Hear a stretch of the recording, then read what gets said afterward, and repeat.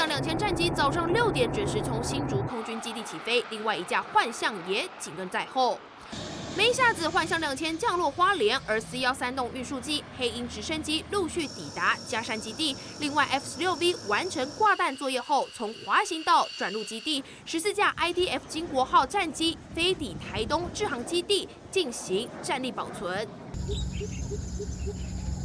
不止空军上紧发条，海军也接获指令，有航舰杀手之称的沱江级巡逻舰塔江号、富江号、旭江号、光六飞弹快艇紧急从宜兰苏澳出港，而满载排水量达两万吨以上、海军吨位最大的油弹补给舰磐石舰也前往机动位置移动，因应敌方可能的攻击行动。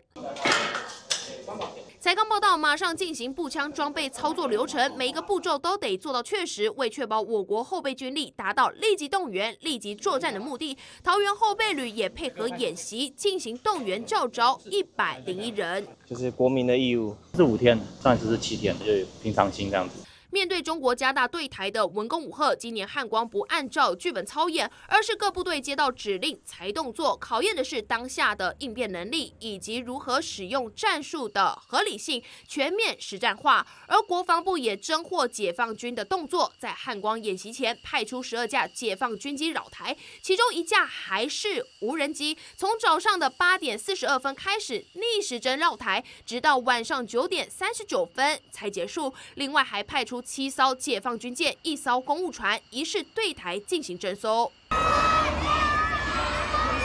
总统赖清德礼拜二将到花莲市岛空军加山基地，礼拜三则到海军左营基地，礼拜四是陆军官渡指挥部，确保我国陆海空作战能力能在关键的时刻保家卫国。民选这么道。